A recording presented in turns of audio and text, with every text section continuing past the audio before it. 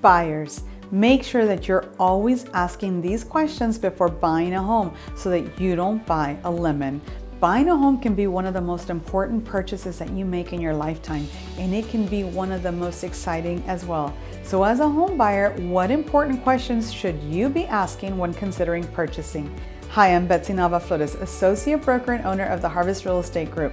And as a home buyer, you will want to ask a few key questions from the seller before you purchase to be sure that you're making the right decisions with your investment. Finding the right home involves a little research when you're buying to be sure that you're making a competitive offer and one that meets your needs. Asking these questions will help. So, number one, why is a seller moving? Knowing why a seller is moving can put you in a better negotiating position. Finding out as much information as possible about the seller's move can allow you to gauge how flexible the seller may or may not be during negotiations. And as a motivated seller who needs to move more quickly due to a job location or major life event, may be willing to negotiate more favorably. Number two, what is included in the sale. As a buyer, you might be eyeballing that beautiful stainless steel fridge in the kitchen or that wine fridge in the pantry, but is that included in the sale?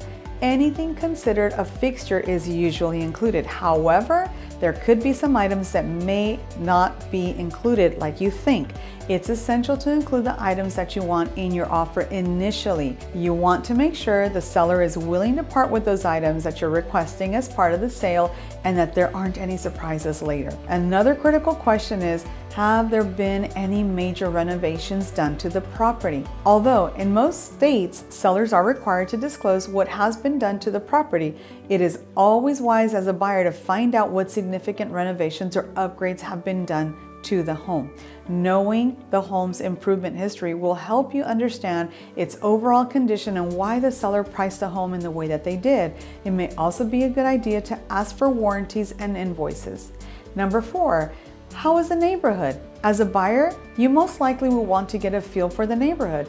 Items can be replaced or fixed in a home, but neighborhoods are here to stay. So it's best to do your homework, ask questions, and research to find out what the nearby schools are, amenities, traffic, and crime statistics, what all those are like.